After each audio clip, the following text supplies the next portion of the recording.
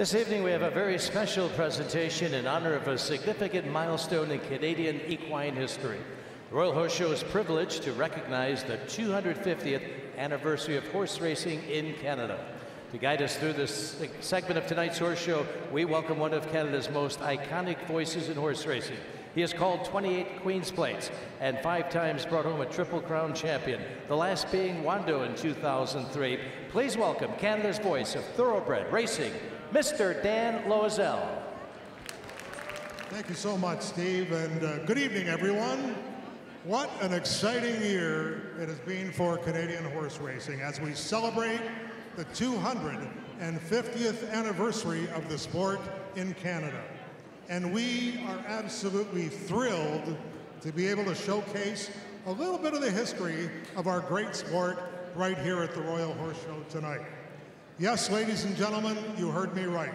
Horse racing in this country is 100 years older than Canada itself. In fact, the first records of organized horse racing date back to the 1st of July, 1767 on the plains of Abraham when a military race took place. The horse that won that race descended from the horses that compromised the royal stable of Louis XIV. If I could direct your attention to the screens overhead, let's learn a little bit more about that first race and where it all began.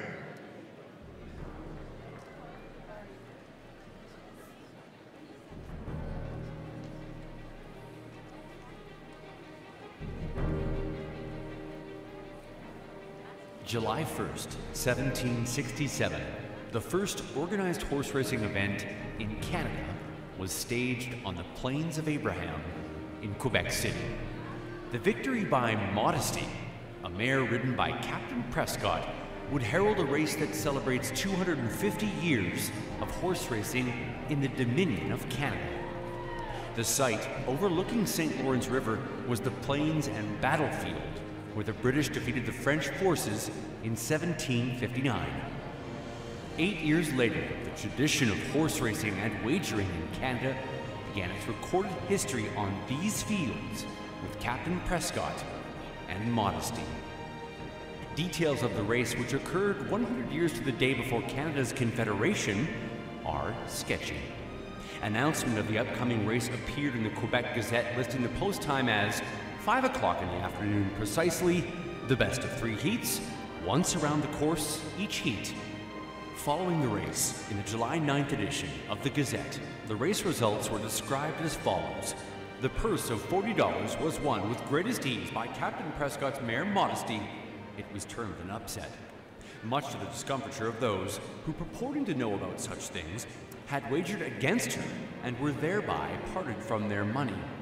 The contest did afford much pleasure, and there were no accidents save that some few riders were thrown from their mounts, from which circumstance it appeared that they had suffered more fright than injury. It is from this date and that race which all horse racing in Canada has evolved. From that military race in 1767 until today, horse racing, both under saddle and harness racing, have been part of the fabric of this great country. Whether on small tracks or fairs, racing on frozen rivers or the ponds, or ceremony, ceremonial races like the Queen's Plate, Canada's oldest continuously run stakes race. In fact, it's North America's oldest continuously run stakes race. Horse racing has endured, ladies and gentlemen. In fact, here on this very site, harness racing was held as part of the Canadian National Exhibition from the late 1800s through to the mid 1900s. Canada has produced some of the best horse racing participants anywhere in the world, including names like E.P. Taylor, the Samuel family, the Armstrong family, Ron Turcotte, John Campbell, Joe O'Brien, The Filions, Armbro Flight, Dance Smartly, Somebeachsomewhere, and the incomparable Northern Dancer.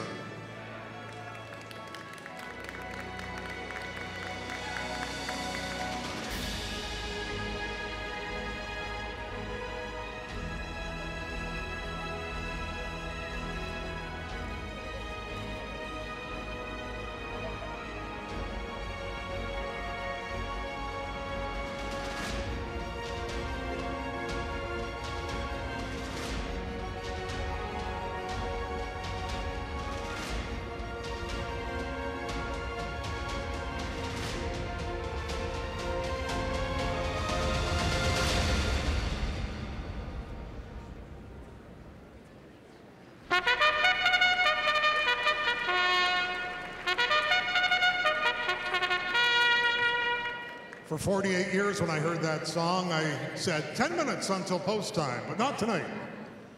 Tonight, in honor of the 250th anniversary of horse racing in Canada, we welcome seven horses to the ring to complete a commemorative mile of eight laps of the arena. In total, these seven horses have earned over $1.2 million in their racing careers, and each and every one of them has gone on to a second career away from the racetrack. Leading off with the 250th anniversary flag is Calamar, an 18-year-old standardbred gelding, ridden by owner Debbie O'Brien Morin. Following his six-year racing career, Calamar continues to thrive. He and Debbie work as a team as an outrider and lead pony, leading post parades at various tracks throughout Ontario.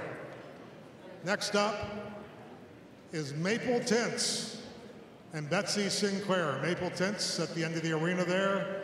Maple Tints is a 12-year-old thoroughbred gelding who earned over $200,000 while racing, and I used to announce his races. He is a graduate of the Long Run Thoroughbred Retirement Society and will be competing in the thoroughbred classes tomorrow right here at the Royal. Go get him, Maple Tints. Next is 13-year-old standardbred gelding Spago Hall. Spago Hall, just to my left here, he recently concluded a successful racing career, earning over $300,000. And now, thanks to owners Don and Anita Leisheed of Belle River, Ontario, Spago Hall is a harness racing ambassador for the Ontario Harness Association Wanna Drive program, providing the opportunity for patrons at tracks to experience what it's like to sit behind a racehorse. Just like you see tonight with Sam Sovereign riding along with the young gentleman, and I, that's not Brian Tropea, but Brian is the president of the Ontario Harness Horse Association. Our next participant is Man Cave. Man Cave is a six-year-old thoroughbred gelding who earned over $175,000 in 15 starts during his racing career. He has gone on to compete in conformation classes and under saddle classes in the show ring and was the winner of the thoroughbred conformation class here at the Royal in 2016. This gelding's pedigree is filled with Northern Dancers bloodlines on both his sire and his dam side and provides a wonderful example of the incredible role that the great Northern Dancer still holds in thoroughbred racing. He was Canada's first Kentucky Derby winner, and he still ranks among the greatest sires that the sport has ever known. Riding Man Cave is Sheena Ryan of Kindersley. Give us a wave, Sheena. Sheena Ryan rides at Woodbine. She was racing today at Woodbine, and she's living her dream of being a jockey. Sheena was among the top 10 jockeys at Woodbine last year, and in 2014, Sheena Ryan won the Sovereign Award as Canada's Outstanding Apprentice Jockey. Congratulations, Sheena. Great to see you here. Seven-year-old standardbred trotter Let's Leave Him is presented this evening by owner Sarah Town. Sarah's wearing her blue and white racing colors, and uh, the Ontario bred gelding is still actively racing in harness. He and Sarah compete in standardbred racing under saddle races at tracks throughout Ontario, recently winning the final under saddle race of 2017. Russ, or Trot Monté Racing, is a combination of harness racing and thoroughbred racing with horses trotting instead of galloping during their races. Next is the thoroughbred gelding Highland Bay, sired by Adena Springs' own stallion, Sligo Bay. Highland Bay concluded his racing career in 2015. He won two of 19 career starts and earned over $100,000 lifetime. He's now under the care of Natalie Roth, who rides him this evening. Highland Bay and Natalie compete in horse shows throughout southern Ontario, and they will be taking part in the thoroughbred classes tomorrow morning right here at the Royal. Good luck, Natalie. And our final participant of the evening is Rachel Lauren, a standardbred trotter who competed earlier this week in the road horse division here at the Royal with her owner, Sebastian Hebert of Saint-Cyrille, Quebec. But at the lines tonight, at the lines tonight in his blue and gold colors is a harness racing legend. Driver Ron Waples, a member of both the Canadian Horse Racing Hall of Fame and the U.S. Harness Racing Hall of Fame. Ontario raised Waples has won the most important harness races in North America. He's won over 6,900 races lifetime and driven the winners of over $75 million. Ron Waples and Rachel Lauren.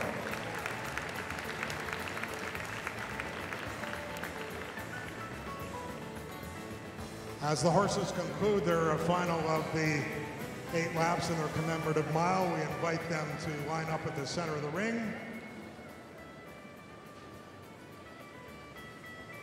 Thank you very much. Hi, Sheena.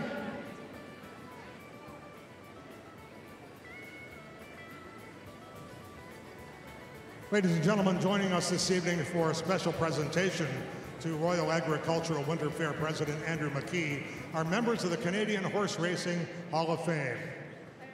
Jockey Sandy Hawley, the greatest jockey that Canada has ever produced. A member of Canada's Sports Hall of Fame and also a member of the Order of Canada, Sandy Hawley. Harness racing driver Bill O'Donnell, nicknamed the Magic Man, O'Donnell was one of the greatest drivers in harness racing history. He won every major stakes in North America multiple times and is also an honored member of the Canadian Sports Hall of Fame. Bill O'Donnell.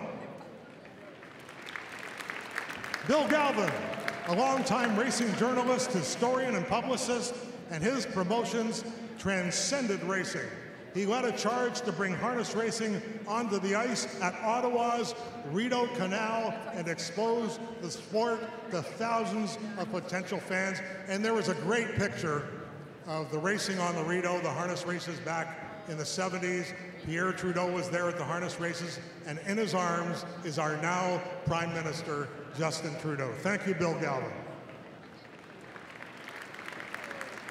Jim Bannon, Racing has been blessed by the talents of Jim Bannon, an educator and humanitarian and one of North America's leading handicappers, and a brilliant broadcaster as well. In 2010, Jim won, a Gem Jim won a Gemini Award as Canada's best sports analyst. A great friend and a great humanitarian, Jim Bannon.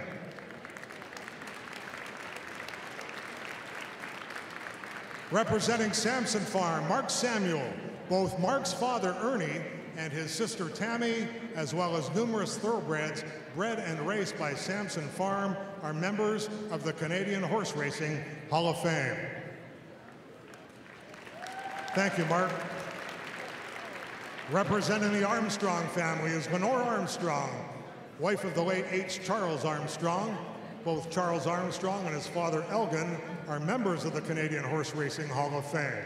Their standardbred breeding farm, Armstrong Brothers, is the birthplace of many Canadian champions and Hall of Fame standardbreds.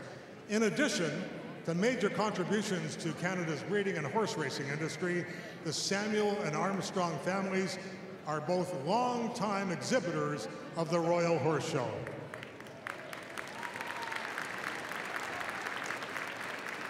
Lou Cauz, another Hall of Famer, is with us tonight, and he has done it all. A builder, a journalist, an author, an historian, and an archivist, and now carries the title Director Emeritus of the Canadian Horse Racing Hall of Fame. Lou Cauz. And we would also like to welcome John Stapleton, the President of the Canadian Horse Racing Hall of Fame. John Stapleton. On behalf of the Canadian horse racing industry, they will present a certificate recognizing the Royal for honoring the 250th anniversary of horse racing, as well as a signed copy of a publication produced by the Canadian Horse Racing Hall of Fame telling the story of pre-Confederation horse racing in Canada.